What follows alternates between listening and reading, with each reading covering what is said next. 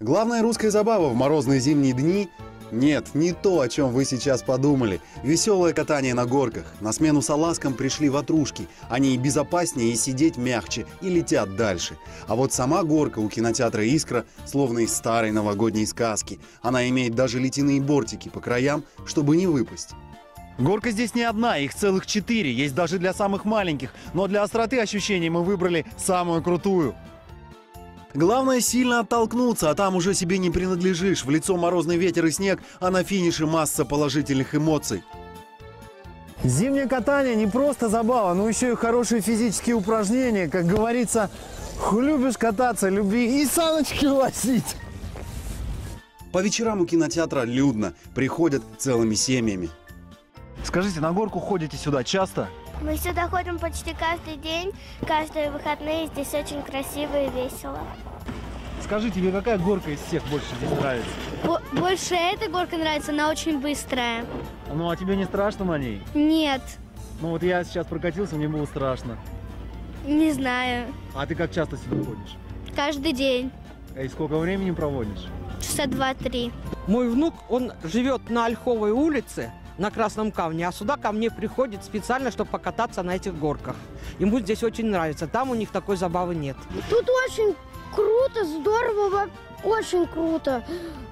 А чем круто, Олег? Что тут есть ледяные горки, еще вот такая крепость, можно по лабиринтам ходить. Что может быть лучше ледяных горок? По мне, так только зимний лес. Все укрыто ровным белым снегом, березы словно зачарованные стоят. Лесные поляны, как чистые страницы огромной волшебной книги. Кто не пройдет по ним, словно распишется «был здесь такой-то». А если пройти на лыжах? Владимир Бучков, тренер с 40-летним стажем. Он знает о лыжах все. Владимир Константинович, скажите, пожалуйста, вот я хочу заняться лыжами. Что мне для этого требуется? Хорошая экипировка в первую очередь. Это Это лыжи, это лыжи, это ботинки, хорошие крепления. Вот.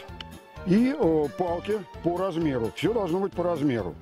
Значит, лыжи должны быть, если классические, выше э, роста где-то на 20 сантиметров. Если это коньковые, сантиметров на 5 на 10. Занятия проходят каждый день, они совершенно бесплатны, с вас только экипировка, которая для начинающих стоит не больше 5000 рублей, ну и, конечно, желание. Решил просто попробовать себя в лыжах. Понравилось, пол- получалось. И решил это продолжить. И продолжаешь ты уже сколько? Почти три года. Я занимаюсь где-то два года лыжами. Мне нравится в, в этом виде спорта то, что здесь э, он очень-очень сильный и очень-очень быстрый.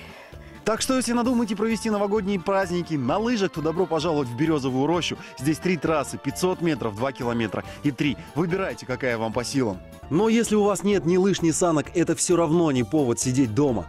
Есть одна новогодняя забава, для которой не нужна специальная экипировка, достаточно тепло одеться, ну иметь хотя бы пару перчаток.